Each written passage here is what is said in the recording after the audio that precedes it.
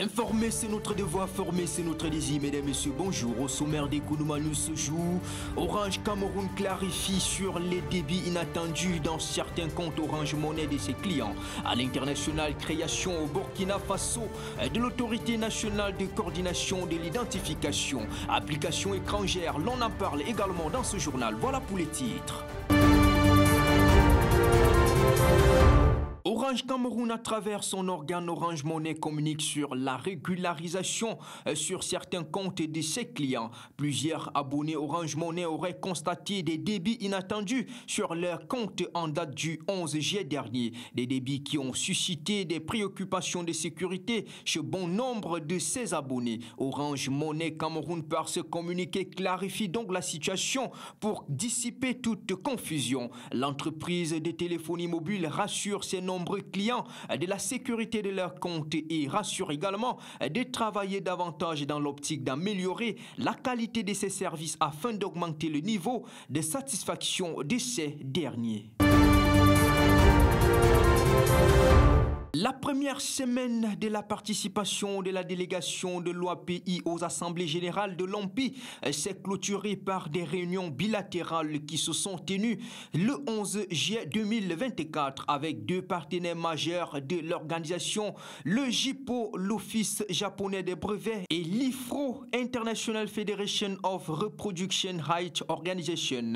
Le DG de l'OAPI et le nouveau commissaire du JIPO ont fait le bilan de la coopération fructueuse entre les deux institutions et passer en revue les perspectives, notamment la participation du JIPO au Master Ingénieur Brevet de l'OAPI et le renforcement des capacités des ressortissants de l'OAPI dans des domaines spécifiques tels que le transfert des technologies le même jour, le plan de travail 2024-2025 entre l'OAPI et l'IFRO a été signé au cours de la rencontre entre M. Denis Boossou et Mme Anita Ross-Eckerolt, secrétaire générale et CAO de l'IFRO. Menu de ces activités, le plaidoyer au niveau stratégique sur les enjeux liés au droit de production et c'est lié à l'impact de l'intelligence artificielle sur ce droit. À l'international, création au Burkina Faso de l'autorité nationale de coordination de l'identification et vers la mise en place de l'identifiant unique pour chaque citoyen. C'est l'une des substances du gouvernement du Burkina Faso en sa séance du Conseil des ministres du 10 juillet dernier. Le décret portant création de l'autorité nationale de coordination de l'identification a été adopté afin d'harmoniser les systèmes d'identification des citoyens et renforcer la sécurité City. Toujours à l'international au Maroc, l'Agence nationale de réglementation des télécommunications invite les opérateurs télécoms à désactiver les cartes SIM non identifiées dans un délai de rigueur de trois mois. Passé ces délais, ils seront obligés de désactiver les cartes SIM anonymes ou simplement non identifiées. Décision prise au Parlement ce 8 juillet par Gita Mezour, ministre délégué chargé de la transition numérique et de la réforme de l'administration répondant aux questions des parlementaires. Selon la ministre, cette mesure vise à garantir la transparence et la sécurité.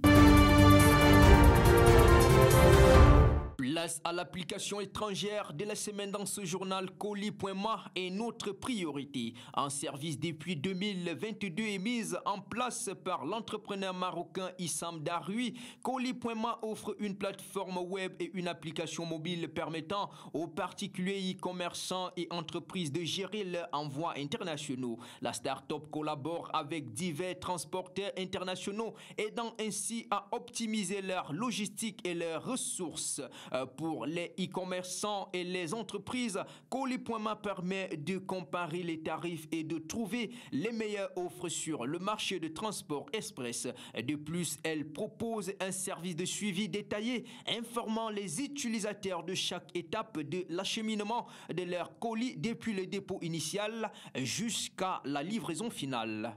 Et c'est la fin de ce journal. Mesdames, Messieurs, votre fidélité nous honore. Retrouvez-nous en repli sur l'application Economa disponible gratuitement sur Play Store et App Store.